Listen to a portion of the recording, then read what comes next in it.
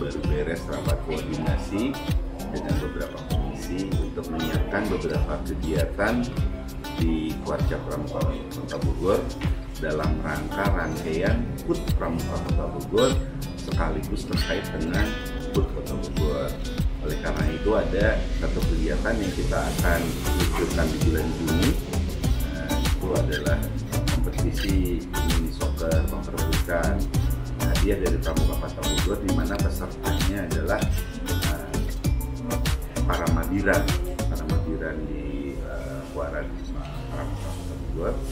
Setelah itu berbentuk pertandingan mini soccer antar uh, anggota Madiran yaitu para lurah beserta para stafnya dari 68 kelurahan kita harapkan bisa menjadi peserta kompetisi ini yang diperkirakan kegiatan ini akan berlangsung selama dua bulan.